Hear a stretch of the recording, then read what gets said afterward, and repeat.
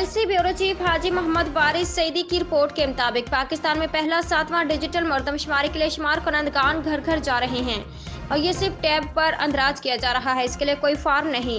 तहसील in charge, Pakistan की तरक्की और पाकिस्तान आबादी के शुमार के लिए हर शख्स मरदमशुमारी के लिए आने वाली टीम से ताउन करें। पहली बार डिजिटल मरदमशुमारी की जा रही है। इस बार कोई फार्म का इस्तेमाल नहीं किया जा रहा है। ये बात तहसील इंचार्ज राव अब्दुल जब्बार ने मीडिया से बात करते हुए कही। उन्होंने बताया कि गवर्नमेंट की जानब से कोई फार्म शाया नहीं हुआ। तमाम अंदराज डिजिटल टैब के ज़रिए है। मजीद क्या कहा? आने वाली टीम के साथ ताउन हमारी इखलाकी ज़िम्मेदारी है। अपने घर के मुकम्मल और सही क्वाइफ अंदराज करवाएँ।